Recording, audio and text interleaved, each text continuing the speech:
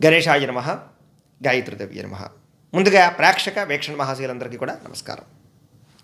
ఐదో తారీఖు డిసెంబర్ రెండు వేల ఇరవై ఒకటి నుండి పదకొండో తారీఖు డిసెంబర్ రెండు వేల ఇరవై ఒకటి వరకు కూడా ద్వాదశ రాశుల వారి వార ఫలితాలు ఎలా ఉన్నాయో చూద్దాం. మీనరాశి వారి యొక్క వార ఫలితాలు మీనరాశి వారికి ఈ వారం ఆనందదాయకమైనటువంటి వారము. ఇబ్బందులు తగ్గుతాయి గొడవలు తగ్గుతాయి ఇంట్లో ప్రశాంతత వస్తుంది ప్రశాంతమైన వాతావరణాన్ని కాలాన్ని గడుపుతారని చెప్పొచ్చు. మెంటల్ ప్రెజర్లు టెన్షన్లు చాలా శాతం తగ్గుతాయి. వ్యాపారంలో వృద్ధిని సాధించుకుంటారు వ్యాపార లాభాలు బాగా కనపడుతున్నాయి. కుటుంబ సభ్యుల మధ్య అన్యోన్యత కుటుంబ యొక్క సపోర్ట్ బాగా ఉంటుందని చెప్పొచ్చు. కుటుంబ సభ్యుల యొక్క సహకారం వల్ల ఆనందంగా ఉంటారని చెప్పొచ్చు. అప్పులు తీర్చడానికి బాగా ప్రయత్నం చేస్తారు కొత్త రుణాలు మంజూరు అవుతాయని చెప్పొచ్చు. చిన్న చిన్న వ్యాపారాలు ప్రారంభం చేసే అవకాశాలు ఉన్నాయి. ఆర్థిక లాభాలు ఖచ్చితంగా వస్తాయని చెప్పొచ్చు. ముఖ్యమైన పనులు సకాలంలో పూర్తవుతాయి. వాహనాలు కొనాలన్నా అమ్మాలన్నా కూడా అనుకూలించే అవకాశాలు ఉన్నాయి. విందు వినోదాల్లో పాల్గొనే అవకాశాలు శుభకార్యాలు జరిగే అవకాశాలు ఆగిపోయిన వివాహాలు జరిగే అవకాశాలు వివాహాలు కుదిరే అవకాశాలు నూతన ఉద్యోగ ప్రయత్నాల్లో అనుకూలతలు విదేశీ ఉద్యోగ ప్రయత్నాల్లో అనుకూలతలతో పాటుగా వీసాపరమైనటువంటి అనుకూలతలు అలాగే సాంప్రదాయం సనాతన ధర్మం అన్న ఇంట్రెస్ట్ ముఖ్యంగా భక్తి ఆధ్యాత్మిక చింతన పెరిగే అవకాశాలు ఇంట్లో పూజాది పునస్కారాది కార్యక్రమాలు చేసుకునే అవకాశాలు గొప్ప వ్యక్తులు పరిచయం ఆనందాన్ని ఇచ్చే అవకాశాలు ఆధ్యాత్మిక చింతన పెరిగే అవకాశాలు అలాగే ఉన్నంతలో విలాసవంతంగా జీవితాన్ని గడపడము కుటుంబ సభ్యులతో బిందు వినోదాల్లో కానీ విహారయాత్రలు కానీ చేయడము లేదా మంచి మంచి హోటల్ భోజనాలు చేసే అవకాశాలు ఏ పని చేద్దామన్నా ఇంట్లో వాళ్ళు సహకరించకపోవడం వల్ల మాత్రం కొంచెం ఇబ్బందులు కనపడుతూ ఉన్నాయి. అదొకటి జాగ్రత్త. స్థలాలు కానీ పొలాలు కానీ ఇల్లు కానీ కొనడం వల్ల అమ్మడం వల్ల కొంచెం చిన్న చిన్న స్వల్ప నష్టాలు ఉన్నాయి జాగ్రత్త.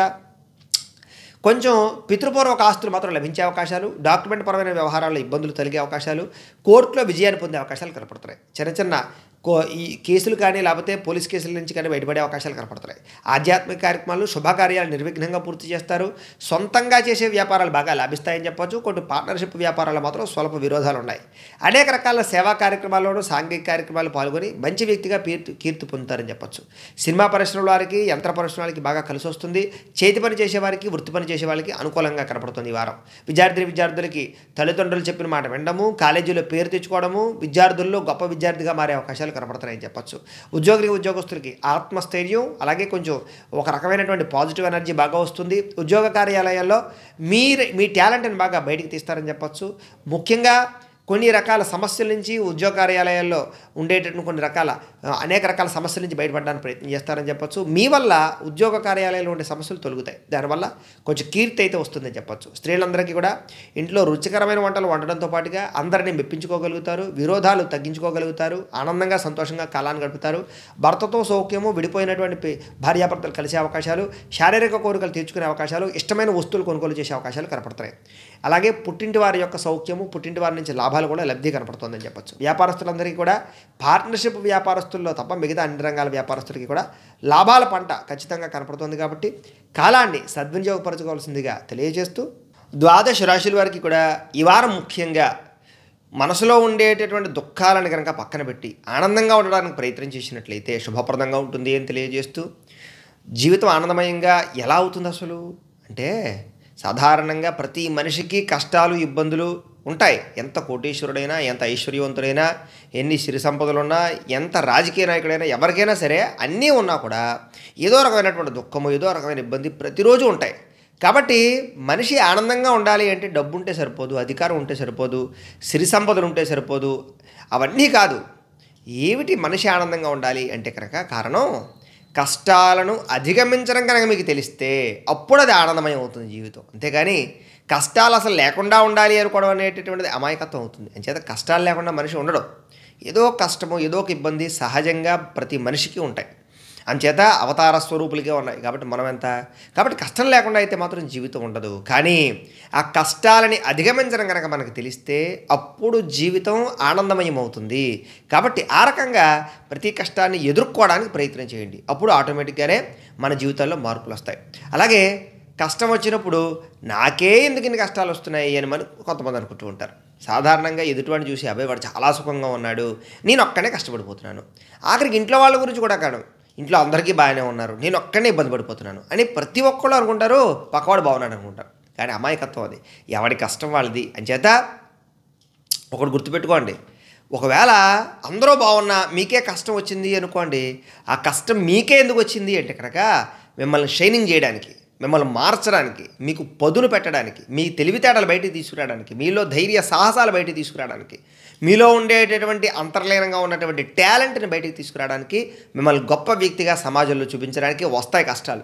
తప్ప కష్టాలు మీకే ఎందుకు వచ్చాయంటే కనుక ఖచ్చితంగా మిమ్మల్ని గొప్పవాడిని చేయడానికి వచ్చాయని గుర్తుపెట్టుకోండి. సాధారణంగా అవతార పురుషులందరూ చాలా కష్టాలు పడ్డారు. కానీ ఆ అవతార పురుషులు పడిన కష్టాన్ని ఈరోజు మనం చరిత్రలుగా చెప్పుకుంటున్నాం కీర్తిస్తున్నాం ప్రార్థిస్తున్నాం పారాయణలు చేస్తున్నాం. అవునా కదా? ఇప్పుడు ఆంజనేయ స్వామి వారు ఎన్నో కష్టాలు పడ్డాడు. సుందరాకాండ పారాయణ చేస్తున్నావా లేదా? రాముడు ఎన్నో కష్టాలు పడ్డాడు. రామాయణం పారాయణ చేస్తున్నావా లేదా?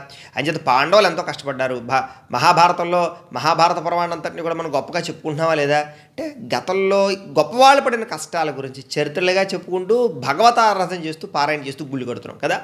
అంటే కష్టాలు వచ్చిన వాళ్ళని గొప్పవాడిని చేస్తారు. అంచేత కష్టం మనల్ని గొప్పవాడిని చేస్తుంది. మనకి షైనింగ్ పెడుతుంది. మన టాలెంట్ని బయటకు తీస్తుంది. కాబట్టి నా మీకే కష్టం వచ్చింది అని అనుకున్నారనుకోండి ఖచ్చితంగా మీరు భవిష్యత్తులో గొప్పవాళ్ళు అవడానికి వచ్చాయనుకోండి తప్ప అందరూ బాగున్నారు నాకు ఒక్కడికే కష్టం వచ్చింది నేను ఒక్కడిని బాధపడిపోతున్నాను నేను ఒక్కడినే ఇబ్బంది పడిపోతున్నాను నేను బాధ పెట్టుకున్నారనుకోండి నిజంగానే ఆ బాధ మిమ్మల్నే కాల్చేస్తుంది కాబట్టి ఆ రకంగా ఉండడానికి ప్రయత్నం చేయండి. అన్నిట్లకన్నా ముఖ్యంగా ఏమిటి అంటే కనుక ఎటువంటి సమస్య నుంచైనా తప్పించుకోవాలంటే కనుక రెండు రకాలు ఈ రెండింటిని ప్రయోగం చేసినట్లయితే చాలా రకాల సమస్యలు తప్పిపోతూ ఉంటాయి. ఏమిటా రెండు రకాలు అంటే కనుక ఒకటి చిరునవ్వు.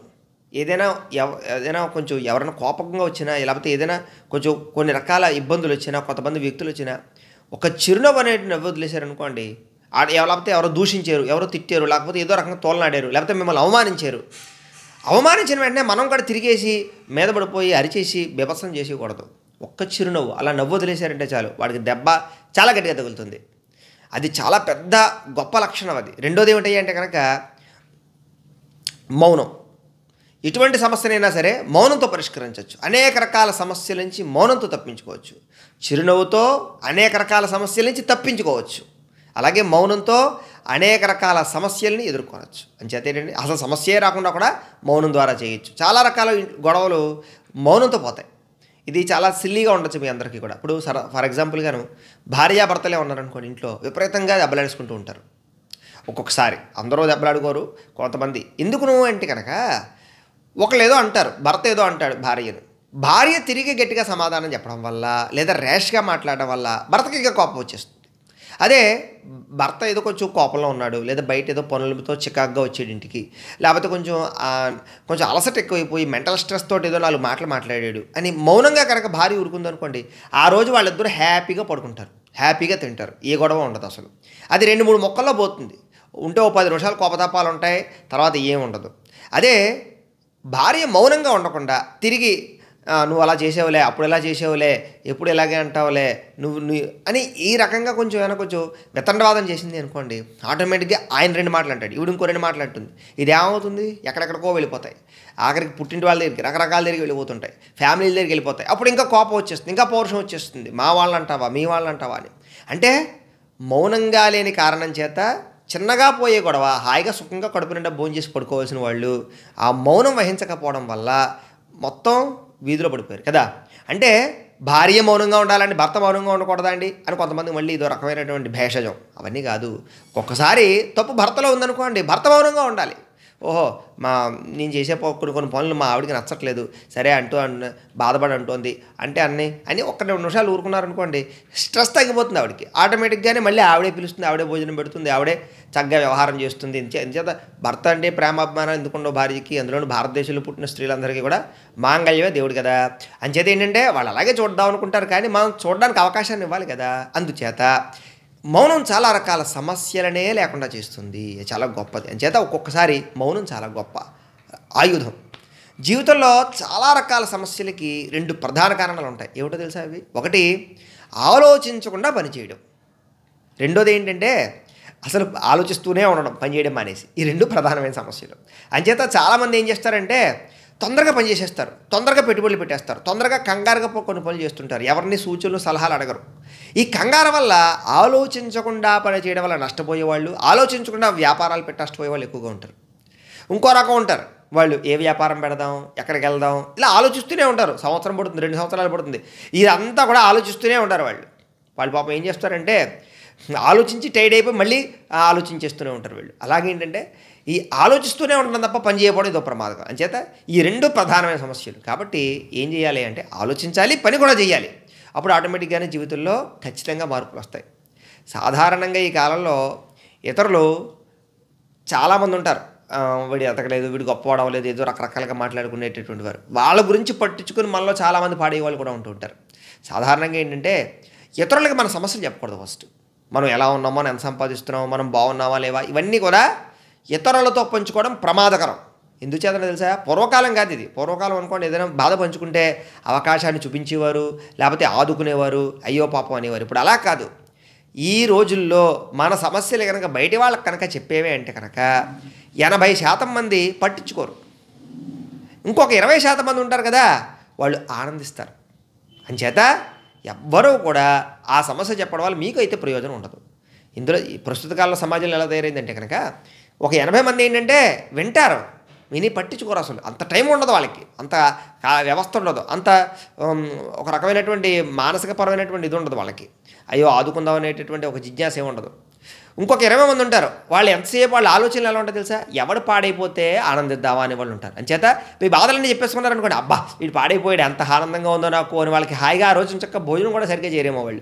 కడుపు నిండిపోతుంది ఇప్పటికే. అంచేత ఏంటంటే జనాలు అలా ఉంటారు ప్రజలు అలా ఉంటారు. కాబట్టి మీ బాధలు చెప్పేస్తే పట్టించుకునే వాళ్ళు కానీ మిమ్మల్ని ఆదరించే వాళ్ళు కానీ ఉంటారు కాబట్టి అంటే బయట వాళ్ళ గురించి చెప్తున్నాను. అలానే ఫ్యామిలీ మెంబర్సు రకరకాల స్నేహితులు వాళ్ళు కాదు. వాళ్ళందరూ కూడా పట్టించుకుంటారు వాళ్ళ గురించి కాదు. ఇతరులకి అంటే బయట వాళ్ళకి ఊరికే మీ యొక్క బాధలు ఇబ్బందులు అన్నీ బయట చెప్తే లోకు పోతారు కాబట్టి ఆ రకంగా ఉండకుండా ఉన్నట్లయితే కనుక సగం దరిద్రం అనేటటువంటిది సగం ఇబ్బందులు అనేవి పోతాయి. కాబట్టి ఆ రకంగా ఉండడానికి ప్రయత్నం చేయండి. ఒక మహాభా ఒక మహానుభావుడు చెప్పినట్లుగా పెద్ద పెద్ద సమస్యలన్నీ పరిష్కరించుకోవడానికిట కంప్యూటర్ కనిపెట్టారట. ఇప్పుడు మన కంప్యూటర్లు ఉన్నాయి కదా కంప్యూటర్లు ఇవన్నీ కూడా ఎందుకు కనిపెట్టారంటే పెద్ద పెద్ద సమస్యల్ని పరిష్కరించడానికి కనిపెట్టారట. పెద్ద పెద్ద లెక్కలని రకరకాలని వ్యవహారాలని ఇవన్నీ కూడా అది పరిష్కరించేస్తుంది అని దాన్ని కనిపెట్టారట. కానీ విచిత్రం ఏమిటంటేట అది పుట్టక ముందర అది ఆ కంప్యూటర్ అనేటటువంటిది పుట్టక ముందర ఆ సమస్యలే లేవుట అసలు. అంటే మనం తయారు చేసుకున్న దానివల్లే మన సమస్యలు పుడుతున్నాయి తప్ప మనం అసలు దాన్ని తయారే చేయకపోతే ఆ సమస్యే లేకపోతుంది అంచేత ఏంటంటే అది పుట్టక ముందర అలాంటి సమస్యలే లేవు. అది పుట్టడం వల్ల సమస్యలు వచ్చాయి. కాబట్టి పెద్ద పెద్ద సమస్యలు పరిష్కరించడానికి కంప్యూటర్ పుట్టింది. కానీ ఆ అది పుట్టక ముందర అసలు అలాంటి సమస్యలే లేకుండా సుఖంగా మనిషి ఉన్నాడు. కాబట్టి ఏదైనా మనం సృష్టించుకోవడం వల్ల ఇవన్నీ కూడా జరుగుతాయి కాబట్టి చాలా రకాల సమస్యలన్నీ మనం సృష్టించినవి కాబట్టి ఆ సృష్టించుకోవడం మానేసినట్లయితే చాలా రకంగా మనశ్శాంతి ఉంటుంది. కాబట్టి ప్రతి మనిషికి కూడా ప్రతి ఆలోచనకి ప్రతి సమస్యకి పరిష్కారం మనలోనే ఉంటుంది. అది వెతుక్కుంటే అర్థమవుతుంది. ఒకవేళ అలా వెతికినా అర్థం అవ్వలేదనుకోండి దానికే భగవతారాధన దానికే మెడిటేషన్ భగవతారాధన చేసే వాళ్ళకి ఎలాంటి సమస్య నుంచి అయినా సరే సునాయాసంగా బయటపడే అవకాశం వస్తుంది. భగవంతుడు ప్రత్యక్షం అయిపోడు కానీ మన మనసులో ఆలోచనను ఇస్తాడు భగవంతుడు అంటే ఏంటి? మనలో ఉండేటటువంటి ఆలోచన ద్వారా మనం చేసే పనుల్లో ఉండేటువంటి అవకాశాల ద్వారా భగవంతుడు మనకు కనపడుతూ ఉంటాడే తప్ప భగవంతుడు విగ్రహ రూపంలో మనకైతే కనపడడు. కానీ మనం చేసే ఆరాధన వల్ల మనం చేసే పనులకి మనకి తెలియకుండా స- సహాయాన్ని అందిస్తూ ఉంటాడు అవకాశాలు అందిస్తూ ఉంటాడు ఆలోచన అందిస్తూ ఉంటాడు.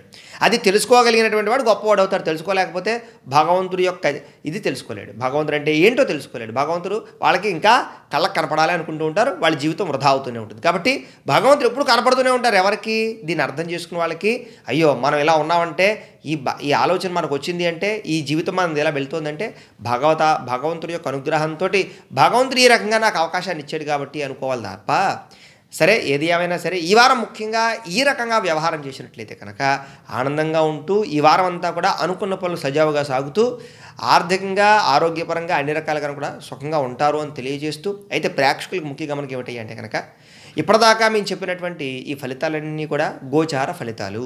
అంటే ఈ రాశిలో ఉండేటటువంటి కోటాను కోట్ల మంది అందరికీ వర్తిస్తాయి. కాబట్టి ఆ రకంగా వినే ప్రయత్నాన్ని చేయండి. ఒకవేళ మీ పర్సనల్ జాతకం అంటే మీకు ఒక్కరికి ఎలా ఉందో తెలుసుకోవాలి అన్నా లేదా ఏదైనా సమస్యతో ఇబ్బంది పడుతూ ఉన్నా మీ date of birth time place of birth మీ పేరు మా వాట్సాప్ నెంబర్ కనుక మెసేజ్ పెట్టినట్లయితే మీ పర్సనల్ జాతకం అంటే మీకు ఒక్కరికి ఎలా ఉందో చూసి చెప్పే ప్రయత్నం చేస్తాము. లేదా ఏదైనా సమస్యతో ఇబ్బంది పడుతూ ఉంటే కనుక దానికి పరిహారాన్ని చెప్పడం కానీ పరిహారాన్ని చేయించడం కానీ చేసే ప్రయత్నం కూడా చేస్తాము అని తెలియజేస్తూ ఈ వీడియో కనుక మీకు నచ్చినట్లయితే కాస్త లైక్ చేయండి పది మందికి షేర్ చేయండి. ఇంకా ఎవరైనా ఈ ఛానల్ని కనుక సబ్స్క్రైబ్ చేసుకోకుండా ఉన్నట్లయితే కనుక కాస్త సబ్స్క్రైబ్ కూడా చేసుకోవాల్సిందిగా మనస్ఫూర్తిగా ఆశిస్తూ గోబ్రాహ్మణేభ్య శుభమస్తు నిత్యం లోకా సమస్తా సుఖినో భవంతు స్వస్తి.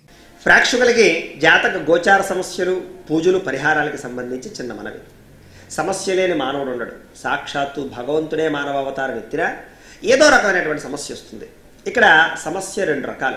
ఒకటి మన శరీరానికి వచ్చే అనారోగ్య సమస్యలు. వీటికి మనం టెస్టింగ్లు స్కానింగ్లు రక్త పరీక్షలు చేయించుకుని మందేంటో తెలుసుకుని వైద్యం చేసుకుని నయం చేసుకుంటాం.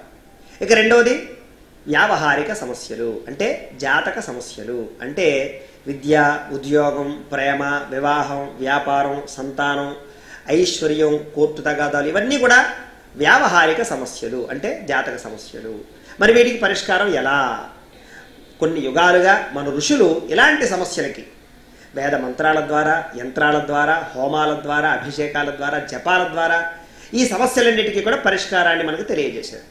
వీటిని అనుసరిస్తూ మేము కూడా ఆంధ్రప్రదేశ్ తూర్పుగోదావరి జిల్లా రాయవరం మండలం తులియ భాగానదీ తీరంలో వేయించేసి ఉన్నటువంటి వెదురుపాక గ్రామంలో కంచి జయేంద్ర విజయేంద్ర సరస్వతి స్వాములు వారు ప్రతిష్ఠించినటువంటి గాయత్రి పీఠంలో వేద పండితుల యొక్క సహకారంతో ఇలాంటి సమస్యలన్నిటికీ కూడా మేము కూడా ఈ యొక్క జపాలని మండపారాధనలు అలాగే తర్పణాలు అభిషేకాలు హోమాలు పారాయణలు ఇలాంటి కార్యక్రమాలన్నీ చేసి ఈ సమస్యలన్నిటికీ కూడా పరిష్కారాలను చేయిస్తూ ఉంటాం.